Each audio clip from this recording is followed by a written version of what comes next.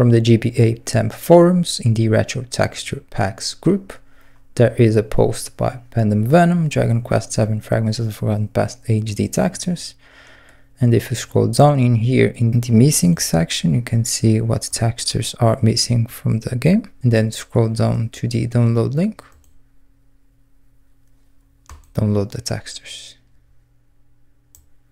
I'm also using the latest version of the PabloMK7 Citra version or Citra fork after the download is complete, extract the textures here.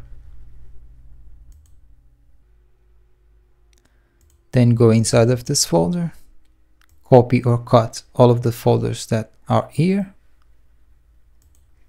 And then go to Citra, right click on top of Dragon Quest 7 and go to open custom texture location and paste the folders inside of this folder.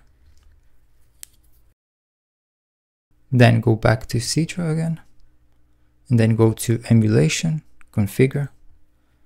Go to the graphics settings and here in the internal resolution change it to a higher resolution where you won't notice much of a difference in the HD textures. And then here at the bottom, turn on use custom textures. And now when you run the game, the HD textures should be working correctly.